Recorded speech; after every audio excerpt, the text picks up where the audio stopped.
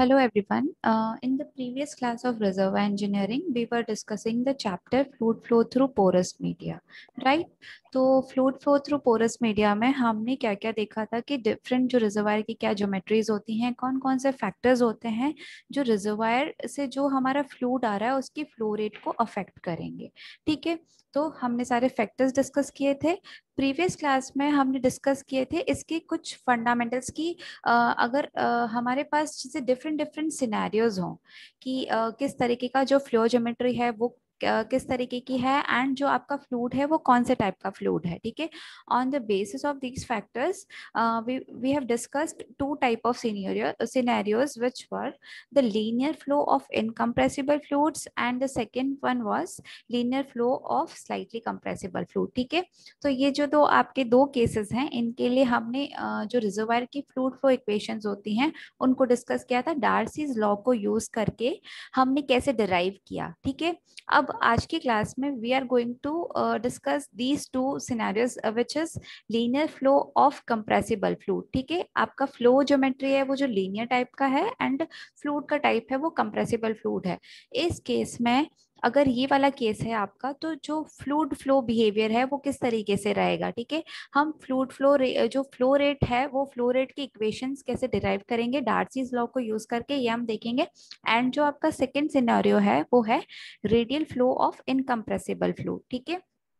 कि अगर आपका जो रिजर्वायर है वेलबोर में सारे डायरेक्शन से आपका फ्लो फ्लो आ रहा है तो दैट इज़ रेडियल फ्लो ठीक है तो रेडियल फ्लो की कंडीशन में जब आपका फ्लूड जो फ्लू टाइप है वो है इनकम्प्रेसिबल फ्लूड है. ठीक है तो ये जो दो केसेस हैं we are going to discuss in today's class so let start with the linear flow of incom linear flow of compressible fluid ठीक है तो uh, this for this is for slightly compressible fluid जो हम class last class में discuss कर चुके थे ठीक है? Uh, तो आपका जो कंप्रेसिबल फ्लूड है वो क्या होता है? बेसिकली हाईली जो कंप्रेसिबल फ्लूड होते हैं उस कैटेगरी में आती है गैसेस ठीक है? तो जो गैसेस होती हैं वो प्रेशर के साथ प्रेशर में चेंजेस के साथ वॉल्यूम में बहुत ज़्यादा वेरिएशन शो करती है। इसकी प्रॉपर्टीज़ में ये बहुत ज़्यादा वेरिएशन शो करती है, ठीक है? तो इसी वेरिएशन को अकोमोडेट करने के लिए हम क्या यूज़ करेंगे? इसकी प्रेशर वॉल्यूम में एंड टेम्परेचर में रिलेशनशिप ठीक है? तो कौन सी इक्वेशन है जो प्रेशर वॉल्यूम टेम्परेचर और कितने अमाउंट का आ, में है? गैस आपका है वो कितने अमाउंट में है? इनको रिलेट करती है। That is the equation of state जो कि हम लास्ट क्लास में मतलब हम प्रीवियस जो आपकी क्लासेस थी उसमें डिस्कस कर चुके थे कि आपकी जो real gas equation of state क्या होती है। तो जो आपके real gas gas equation of state होती है, वो होती है PV equals to Z N R T जो आप ये देख रहे हो this is the real gas equation of state ठीक है? तो इस इस तरीके का जो सिस्टम होगा linear flow system homogeneous reservoir मतलब सारे रिजर्वायर में जो प्रॉपर्टी हम कांस्टेंट मान रहे हैं ठीक है? कि जैसे जो रिजर्वायर की प्रॉपर्टीज़ है like porosity is constant permeability is constant throughout the reservoir ठीक है? तो आपका अगर जैसे गैस फ्लो हो रहा है तो उसके लिए Uh, उसके जो नंबर ऑफ़ मॉल्स हैं प्रेशर टेम्परेचर और वॉल्यूम के साथ कैसे रिलेट कर रहे हैं वो हमें इक्वेशन ऑफ़ स्टेट बताएगी ठीक है? तो this is your equation of state P V equals to Z N R T इसको हम इस तरीके से लिखते हैं तो अगर हम इसको नंबर ऑफ़ मोल्स के लिए सॉल्व करें, आपकी इक्वेशन ऑफ़ स्टेट को अगर हम नंबर ऑफ़ मोल्स के लिए सॉल्व करें तो वो क्या हो जाएगा? N equals to P V upon Z R T ठीक है? अब अगर हम बात करें ये तो हो गया कि जो आपका प्रेशर है वो रिजर्वायर कंडीशन का प्रेशर है टेम्परेचर है वो रिजर्वायर का प्रेशर है ठीक है? तो इस प्रेशर पे आ, इसका इस तर, आ, ये जो वॉल्यूम है वो वी रहेगा ठीक है? अब बात करते हैं अगर हम स्टैंडर्ड कंडीशन की तो स्टैंडर्ड कंडीशन पे यही गैस इसके जो एन नंबर ऑफ़ मोल्स हैं वो कितना वॉल्यूम ऑक्यूपाई करेंगे? क्योंकि स्टैंडर्ड कंडीशन पे प्रेशर डिफरेंट हो जाएगा। स्टैंडर्ड कंडीशन पे आपका प्रेशर कितना होता है? P is equal to basically होता है 14.7 psi जो आपकी स्टैंडर्ड कंडीशन होती है, वो हम मानते हैं कि आपकी सरफेस की कंडीशन जो आपका एटमोस्फेरिक कंडीशन क्या रहेगा? That is your standard condition ठीक है? तो इस स्टैंडर्ड कंडीशन का जो प्रेशर है, इस प्रेशर पे जो वॉल्यूम होता है, उसको हम डिनोट कर रहे हैं वीएससी से। ठीक है? V मतलब एस सी मतलब एट स्टैंडर्ड कंडीशन तो volume of gas at standard standard condition तो आपका जो वॉल्यूम ऑफ़ गैस होगा स्टैंडर्ड कंडीशन पे ये इक्वेशन आपकी इस तरीके से रिप्लेस हो जाएगी। क्या क्या चेंजेस आएँगे? जो आपका जेड uh, फैक्टर है compressibility factor R is your constant and number of moles will be constant ठीक है? uh, इन पे कोई इफ़ेक्ट नहीं होगा जो आपके प्रेशर टेम्परेचर या वॉल्यूम में जो भी चेंजेस हो रहे हैं ठीक है? हेयर आपका जो टेम्परेचर है टेम्परेचर में आपका स्टैंडर्ड कंडीशन का temperature as you guys know that आपका स्टैंडर्ड कंडीशन में जो टेम्परेचर होता है वो होता है सिक्सटी डिग्री फ़ारेनहाइट ठीक है? And this is your pressure at standard condition तो वॉल्यूम जो ऑक्यूपाइड होगा एन नंबर ऑफ़ मोल्स से this will will the volume of gases containing N number of moles ठीक है? तो N Z S C R TSC upon PSC ठीक है? यहाँ पे जब हम बात करते हैं स्टैंडर्ड कंडीशन की तो स्टैंडर्ड कंडीशन पे जो आपका ये जेड फैक्टर होता है, ठीक है? ये जेड फैक्टर की वैल्यू वन हो जाती है, क्योंकि स्टैंडर्ड कंडीशन पे हम अज्यूम करके चलते हैं कि जो आपकी गैसेज है वो आइडियल गैसेस की तरह बिहेव करेगी, ठीक है? यहाँ पे ये जेड फैक्टर इंक्लूड हो जाएगा मतलब रियल गैस इक्वेशन है ठीक है? जब जेड फैक्टर नहीं होता तो हम कहते हैं this is your ideal gas equation ideal gas equation क्या होती है? पीवी इक्वल्स टू एनआरटी ठीक है? तो यहाँ पे आ, आपका स्टैंडर्ड कंडीशन पे ये वॉल्यूम हो गया। तो यहाँ पे जो आपका नंबर ऑफ़ मोल्स है वो कांस्टेंट है दोनों कंडीशन पे। तो हम ये n इक्वल्स टू अगर इस इक्वेशन को नंबर ऑफ़ मोल्स के लिए सॉल्व करें, आपका P S C upon V S C इधर चला जाएगा अपॉन आर टी सी यहाँ जाएगा।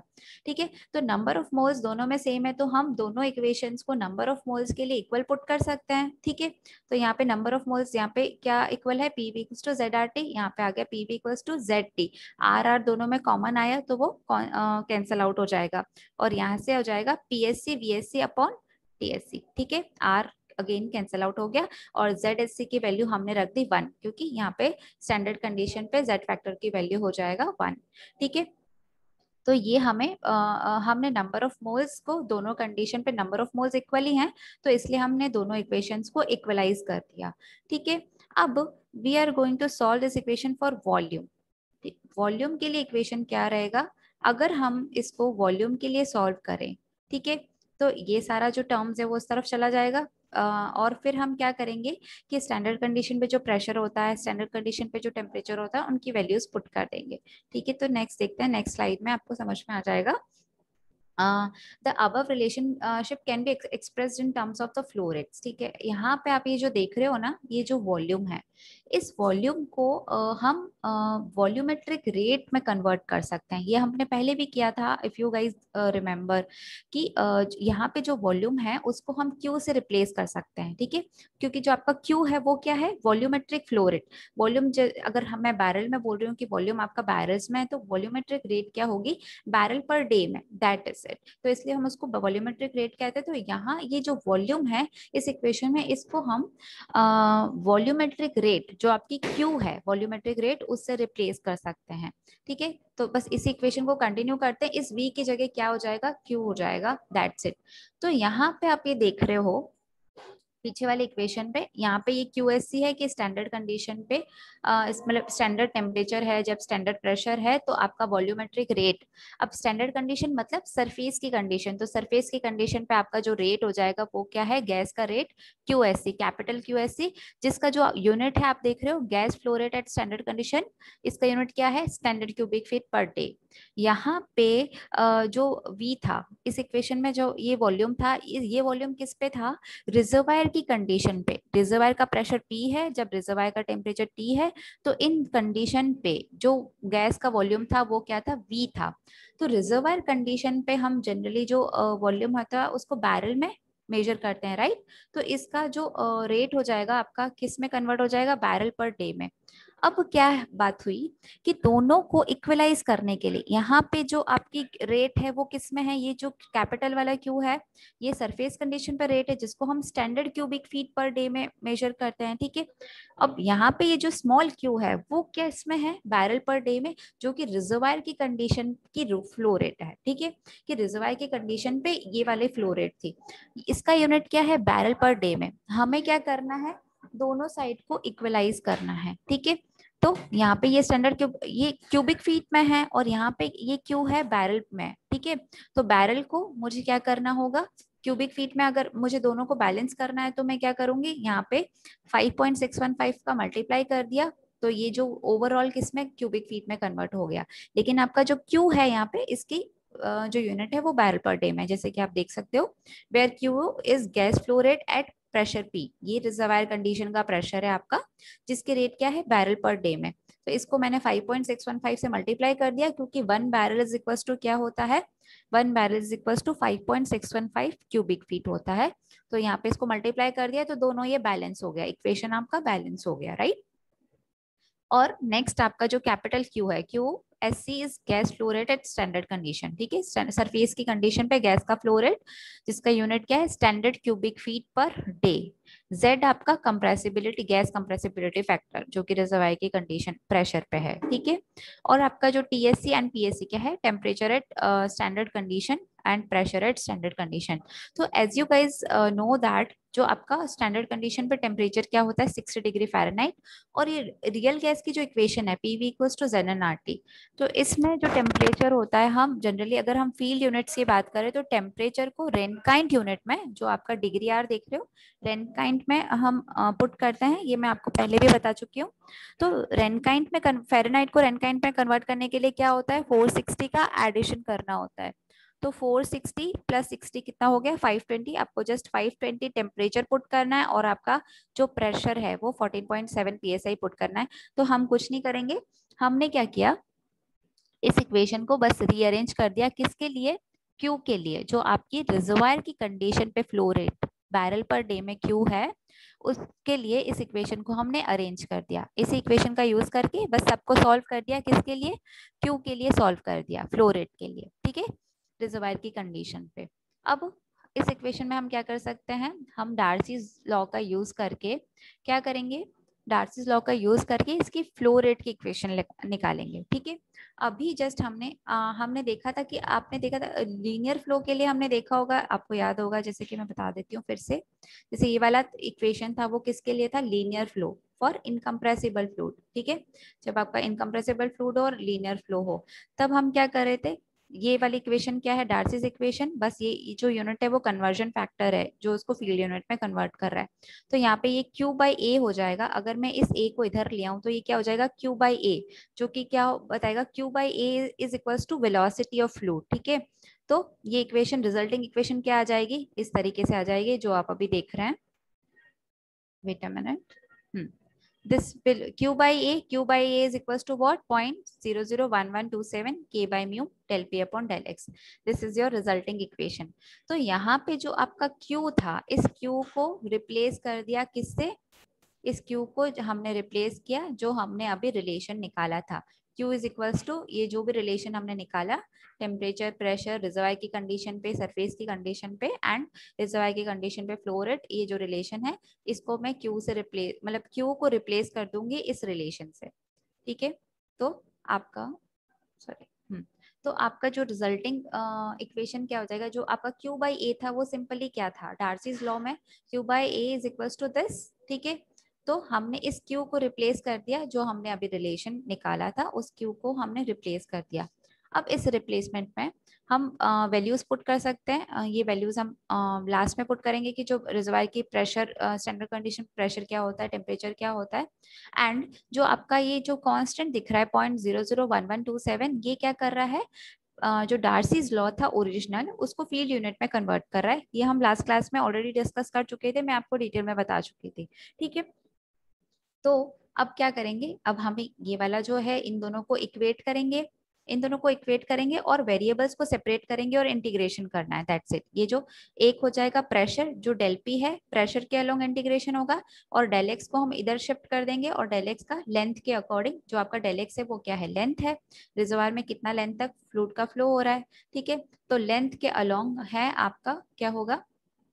इंटीग्रेशन होगा। बस कुछ नहीं करना, इन दोनों को इन ये वाली जो इक्वेशन आप देख रहे हो, इसमें हम वेरिएबल्स को सेपरेट कर देंगे डेल एक्स इधर चला जाएगा और डेल एक्स का इंटीग्रेशन हो जाएगा ज़ीरो टू एल लेंथ जो आपकी लेंथ है रिजर्वायर की जो हम लीनियर फ्लो की बात कर रहे हैं तो ज़ीरो से एल के बीच लिमिट्स के बीच में इसका इंटीग्रेशन हो जाएगा और यहाँ पे प्रेशर का इंटीग्रेशन हो जाएगा, जो प्रेशर वाले टर्म्स है, हम इसको इस तरफ़ शिफ्ट कर देंगे, क्योंकि बाकी जो टर्म्स है, वो कांस्टेंट है, वो आउट रहेगी, ठीक है? आपकी ये वाले जो टर्म्स है, वो कांस्टेंट है flow rate at surface condition constant हमने मान लिया प्रेशर कांस्टेंट है, ठीक है? टेम्परेचर को हम कांस्टेंट मान रहे हैं, जो रिजर्वायर का टेम्परेचर है दैट इज़ कांस्टेंट ठीक है? वेरिएबल सिर्फ़ प्रेशर है यहाँ पे, हमने ये ज्यूम किया है। हम जो परमेबिलिटी है उसको ऑलरेडी कांस्टेंट मान चुके थे। हमने माना था कि जो रिजर्वायर है वो होमोजीनियस काइंड ऑफ़ रिजर्वायर है। तो permeability throughout the reservoir is constant cross section area आपका कांस्टेंट है और स्टैंडर्ड कंडीशन पे टेम्परेचर इज़ आल्सो कांस्टेंट ठीक है? तो ये सारे जो कांस्टेंट टर्म्स थे वो बाहर आ गए। और हमने क्या किया? यहाँ पे ये जो zero point zero zero one one two seven है इसका मल्टीप्लाई हुआ five point six one five से।